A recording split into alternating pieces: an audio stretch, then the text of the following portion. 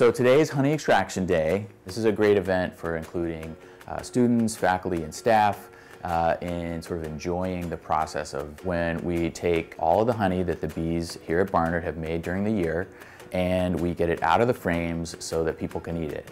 This is also a really nice local event because the bees are making honey from nectar that's collected from flowers really in a local area, probably about a square mile uh, at most. They're able to taste kind of the, the plants and the, the plant products of this area. And so it's kind of a light honey that's kind of sweet with a little bit of floral accent. I work with the bees and I do research on them year round and this is the other fun part of the process that we get to engage with and it's really fun to be able to collect the honey after you know doing research on these bees all year long.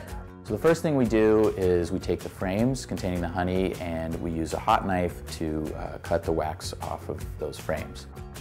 Second thing we're going to do is we're going to place these frames into a hand crank centrifuge and then we have students crank the centrifuge. The honey will sling out to the sides of the centrifuge and gravity flow down. And then the final thing we're going to do is we're going to filter the honey through these metal meshes to remove any chunks of wax, etc.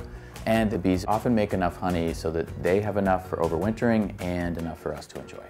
I came to the honey event today to get a taste of some of the fresh honey from the bees at Barnard. Seeing how much honey they're producing is really amazing and especially how good it tastes and that we all get to enjoy it together. That makes me really appreciate their presence here on campus. Once we uh, filter the honey, we bottle it in these little bears, which I think actually uh, are sort of like Millie, the Barnard bear. And we typically give this away to friends of the bees on campus.